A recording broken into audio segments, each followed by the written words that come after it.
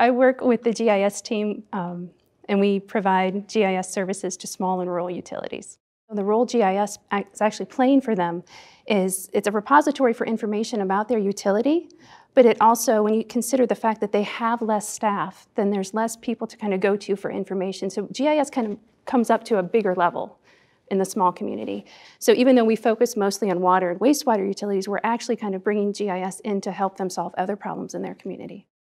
At a very tangible level, they use GIS for mapping, but they're also using it for asset management. So they're using GIS for their asset management inventory, they're using it for preventive maintenance recording and tracking through dashboards. I've been a user of GIS since 2007.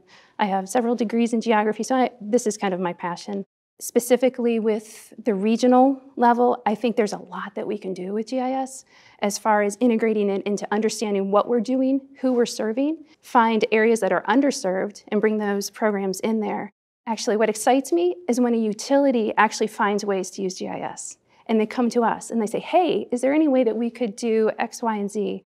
If a utility has a problem, and if they're working with us, then they're going to have access to their data through ArcGIS Online.